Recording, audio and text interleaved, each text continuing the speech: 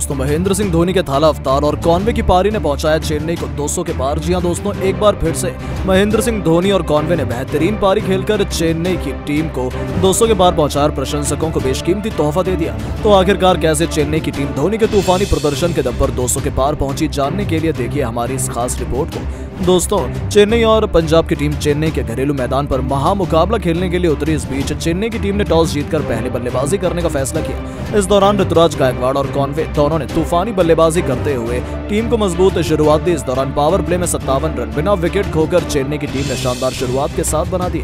लेकिन इसके बाद तो दोनों का तूफानी प्रदर्शन देखने को मिला, जहाँ दोनों बल्लेबाजों ने तूफानी बल्लेबाजी करते हुए छियासी रन की साझेदारी की। इस दौरान 10 ओवर में ज़बरदस्त गेंदबाजी के सामने सिकंदर रजा ने बल्लेबाज ऋतुराज गायकवाड़ को पवेलियन का रास्ता दिखा दिया। इस दौरान ऋतुराज गायकवाड़ इकतीस गेंदों पर चार चौके और एक छक्के की मदद से सैंतीस रन बनाने के बाद स्टंप आउट हो गए। इसके बाद बल्लेबाजी करने शिवम दुबे मैदान पर आए लेकिन उन्होंने भी टीम को मजबूती के साथ आगे ले जाने का कार्य किया।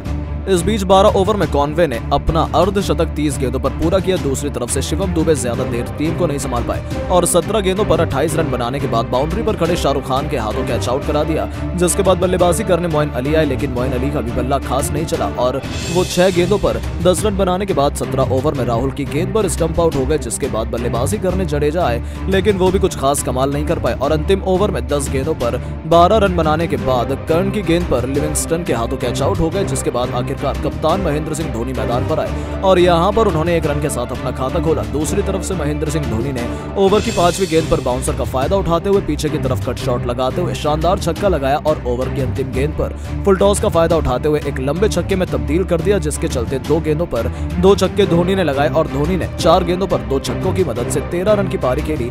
दूसरी तरफ़ से कौनवे बावन गेंदों पर सोलह चौके और एक छक्के की मदद से बानवे रन बनाने के बाद नाबाद रहे, जिसके चलते 200 रन का आंकड़ा चार विकेट के नुकसान पर चेन्नई ने पार किया और 201 रन का लक्ष्य पंजाब को दिया। तो दोस्तों, आपको क्या लगता है, चेन्नई की टीम इस बार आईपीएल में चैंपियन बन पाएगी या नहीं? नीचे कमेंट बॉक्स में अपनी राय ज़रूर दें। और ऐसी शानदार खबरों के लिए चैनल को सब्सक्राइब ज़रूर करें। धन्यवाद।